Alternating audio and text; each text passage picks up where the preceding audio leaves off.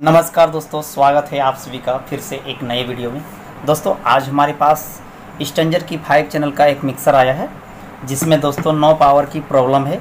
चलिए हम इसकी टेस्टिंग करेंगे और आज लाइव प्रूफ डे इसे रिपेयर करके दिखाएँगे।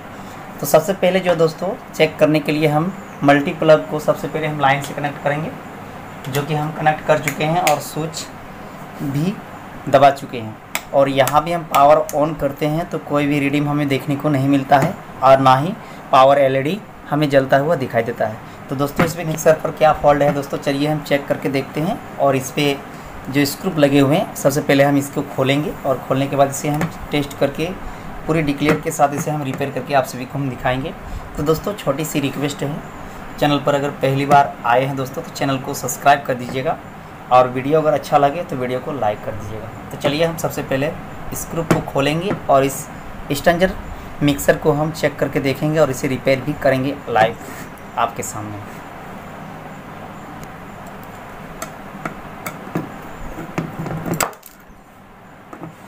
अभी स्क्रू को निकाल चुके हैं बाहर। अब इसकी जो है कवर को हम निकालेंगे और इसकी टेस्टिंग करेंगे।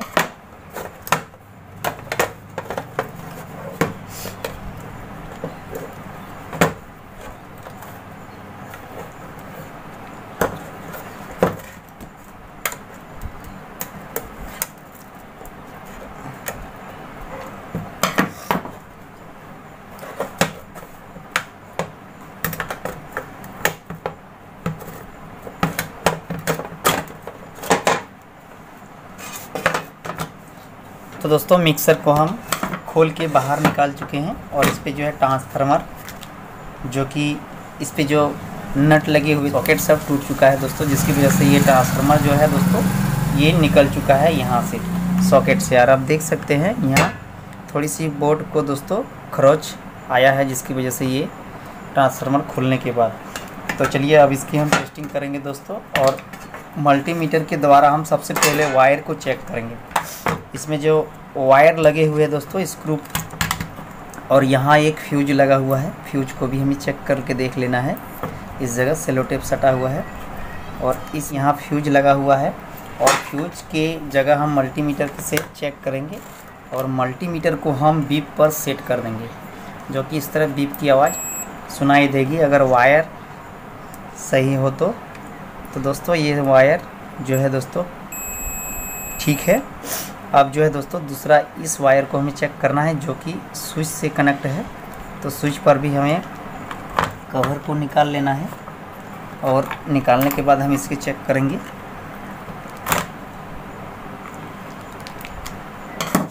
तो दोस्तों कवर दिख रहा है। अब इस जगह हम चेक करेंगे फिर से। ये पहले वायर ठीक है, दूसरा वायर यहाँ इस जगह है स्विच पर, जो कि हम यहाँ से चेक करेंगे। ख़राब है, फिर से हम दोबारा चेक करते हैं। तो दोस्तों, ये स्विच ख़राब है। दोस्तों, इस स्विच को हम चेंज करके देखते हैं। इस स्विच में ही कुछ ख़राबी है और दिक्कत है, जिसकी वजह से ये मिक्सर ऑन नहीं हो रहा है। तो चलिए, सबसे पहले हम इस स्विच को चेंज करेंगे। तो दोस्तों मल्टीमीटर पर हमें ये स्विच पर कोई भी वीव सुनाई नहीं देता है, यानी कि ये स्विच ख़राब हो सकता है। चलिए, अब स्विच से हम वायर को निकाल चुके हैं। अब फिर से हम मल्टीमीटर के द्वारा इसे चेक कर लेंगे खोलने के बाद।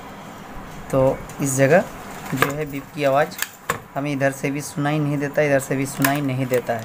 तो दोस्तों इस स्विच को हम चेंज कर देते हैं और इसकी जगह हम नया लगा के फिर से हम दोबारा लाइन दे करके आप सभी को हम दिखाएँगे। तो स्विच को इस तरह से पुश करके हमें बाहर निकालना है, जो कि इस तरह लगा हुआ है। तो दोस्तों ये स्विच निकल चुका है। ये तीन एम्पियर की स्विच है, जो कि हमारे पास तो दोस्तों तीन एम्पियर का सेम स्विच हमारे पास मौजूद है। चलिए हम इसकी सोल्डिंग करेंगे और इस मिक्सर पर फिर से हम दोबारा लाइन को देने के बाद हम इस पर चेक करके देखेंगे। तो ये स्विच पुश हो चुका है। अब इसकी हम सोल्डरिंग करेंगे।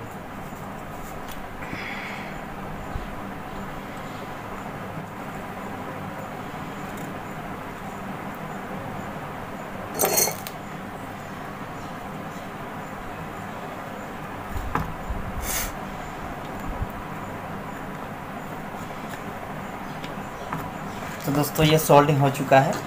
अब चलिए हम दोबारा जो है, फिर से हम लाइन से कनेक्ट करके देखते हैं।